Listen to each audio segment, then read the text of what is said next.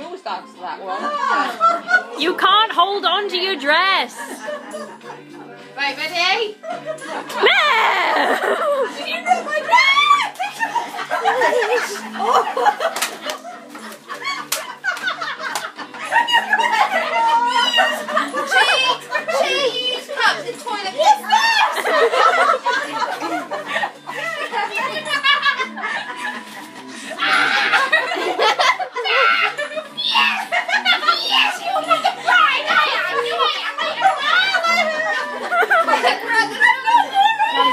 I